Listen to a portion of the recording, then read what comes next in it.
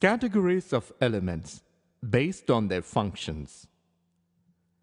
Essential elements are grouped into four categories based on their functions. 1. Structural elements C, H, O, N, N. 2. Energy-related chemical compounds.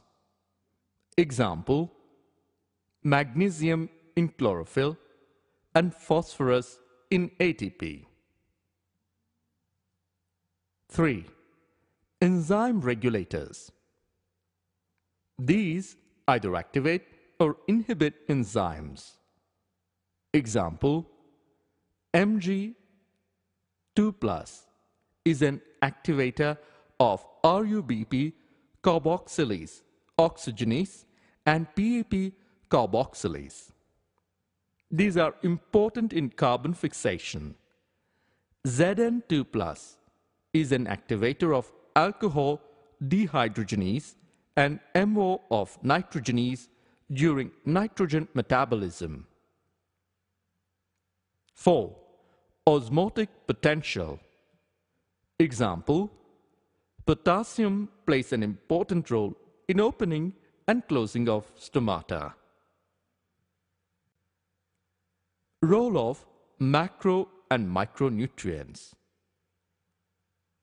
Essential elements participate in various metabolic processes and perform several functions. Macronutrients 1, 2, 3, carbon, hydrogen, and oxygen. These three elements are referred to as framework elements. These elements constitute the major part of dry weight of the plant. Carbon 45%, oxygen 43%, and hydrogen 6%. These elements are not mineral in origin. They enter into composition of all organic compounds of the plants they are taken up by plants in the form of CO2 and water. Carbon is absorbed in the form of CO2 from air.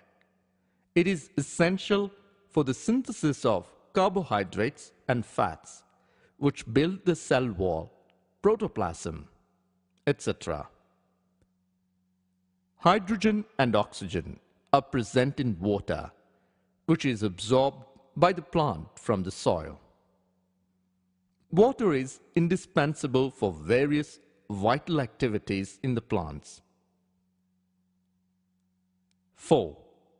Nitrogen 1.5% Source Soil and atmosphere Bacteria and blue-green algae and utilize atmospheric N2 obtained as nitrates, nitrites and ammonium salts. Functions Nitrogen is a component of proteins, essential for protein synthesis. Amino acids, nucleic acids, chlorophyll, cytochrome enzymes, photosynthesis and respiration, alkaloids, plant hormones and vitamins.